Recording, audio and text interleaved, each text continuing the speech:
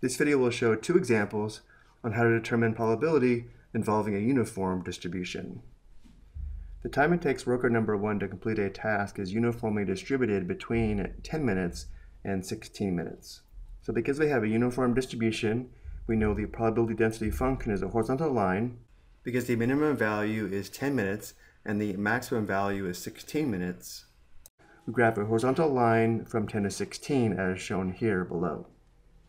We want to find the probability that the task will take between 11 and 13 minutes and find the probability as a simplified fraction as well as a decimal to four decimal places.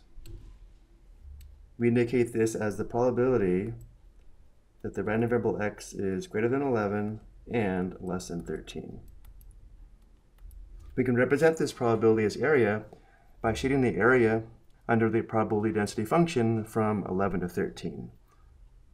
Let's go ahead and do that.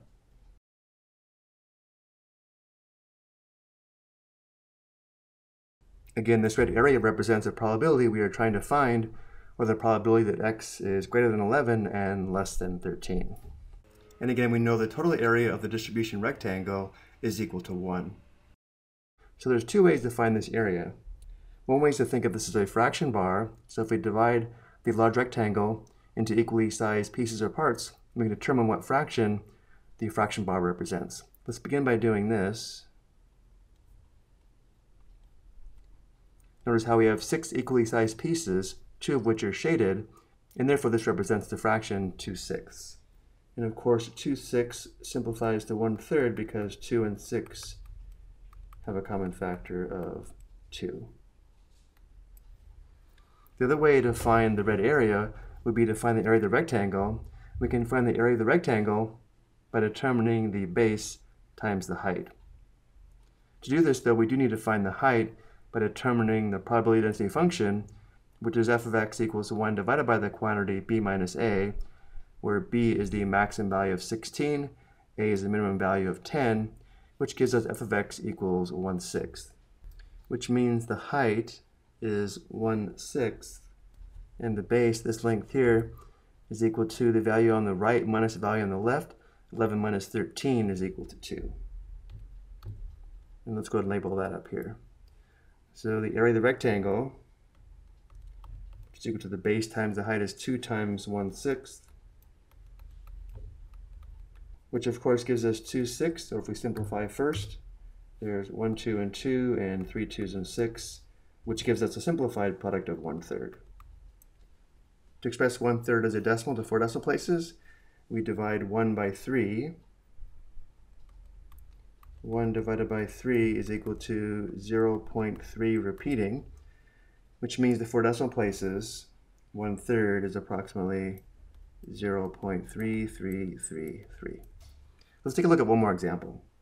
The time it takes worker 2 to complete a task is uniformly distributed between 11 and 16 minutes. So now we graph the horizontal line from 11 to 16 as shown below. And again, because we have a uniform distribution, we know the total area of the distribution rectangle, or the area under the probability density function from 11 to 16 must be equal to 1. We're asked to find the probability the task will take between 12 and 15 minutes, which is the probability that x is greater than 12 and less than 15. Let's go ahead and shade the area that represents this probability. So 12 is here, 15 is here. Go ahead and shade that area. This red area represents the probability we are trying to find. So again, thinking this is a fraction bar, we can see the red area represents the fraction 3 fifths, which does give us the probability we are looking for. And 3 fifths is equal to 3 divided by 5, which is equal to 0 0.6.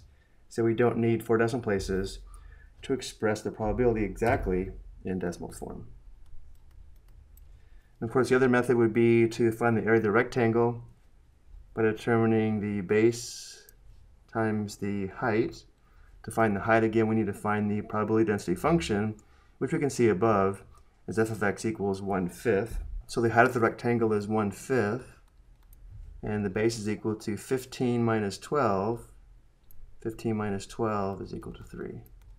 So the base times the height is 3 times 1 fifth, which of course also gives us 3 fifths. I hope you found this helpful.